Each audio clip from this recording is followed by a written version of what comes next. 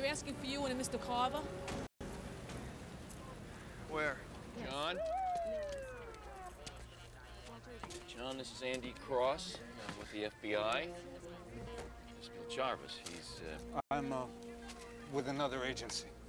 It's good to meet you. this is Lieutenant McClane. This is Mr. Carver. Uh, we got a couple of questions first. You recognize this guy?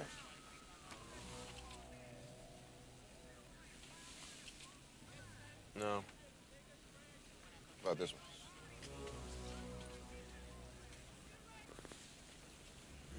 How about you? Did you recognize the voice on the phone? Have you uh, noticed any cars following you? No. Anybody following you at all? Any kind of surveillance? Telephone, house, anything unusual at all?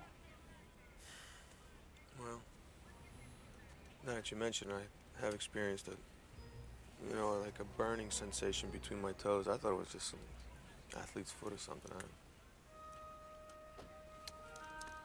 We read your jacket, Lieutenant. We were told you would be cooperative. Cooperate hey, with what? now, wait a minute. He the fuck? We're just will wasting be... time here in this You want to share information? How about sending a little our way as well? Look, we want to hear what he knows first. What the hell? You give us Look, pictures we and then you... want to hear what he knows Hey, first. I know as much as you know, all right? There's a guy out there setting off bombs.